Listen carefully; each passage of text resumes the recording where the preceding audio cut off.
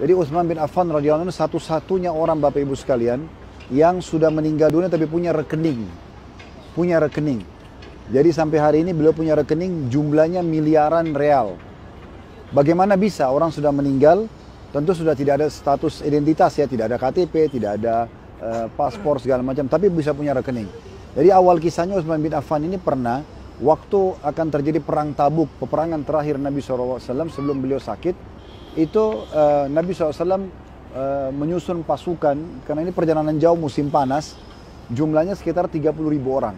Belum pernah ada pasukan muslim pada saat itu sejumlah itu. Besar sekali pada saat itu.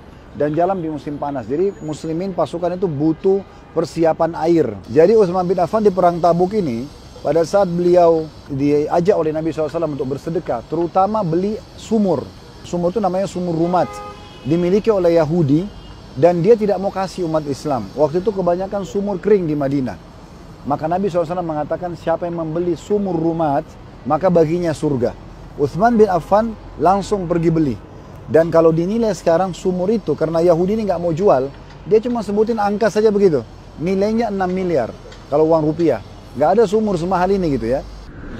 Ayo berangkat bersama Uhud Tour. Pilih paket favorit kalian dan dapatkan promo menariknya.